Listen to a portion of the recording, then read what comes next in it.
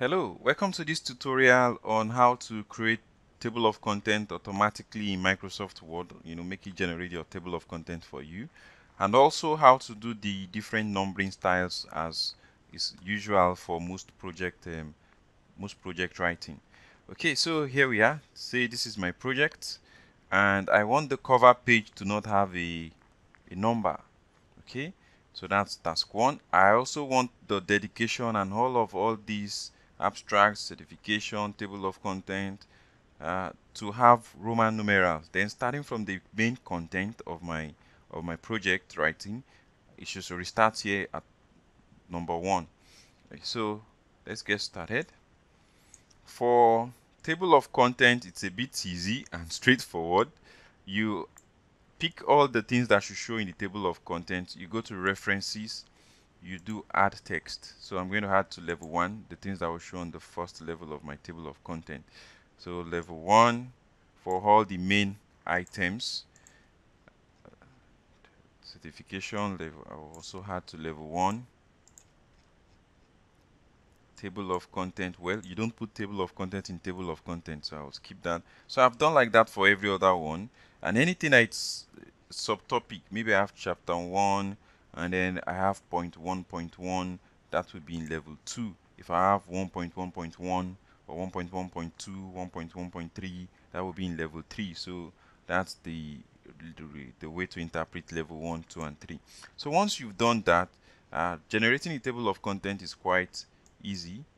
So all you just do is uh, you go to table of content and you tell it to generate the automatic table of content. And instantly it does this. If you don't like the way it's looking you can always go to customize the table of content structure. So I can customize it and say okay I want maybe I want classic or simple.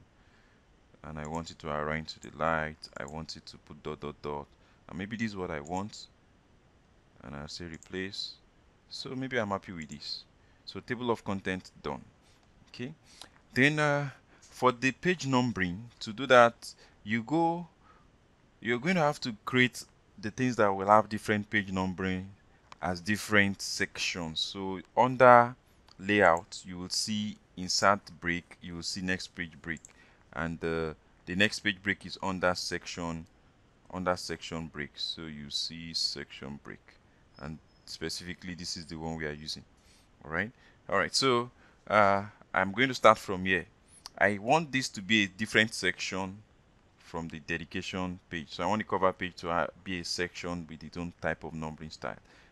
Uh, people sometimes go and uh, insert cover page. That can work, but I want to show you another style. Okay, so I come to the end of one section. I go to the layout menu, breaks. I do next page break.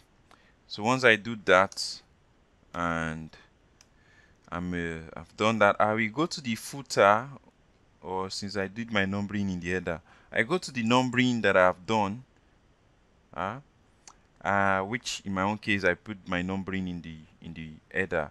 You'll see the same as previous right? This same as previous. You don't want it to be there so you go here and you disable link to previous. So I disable link to previous.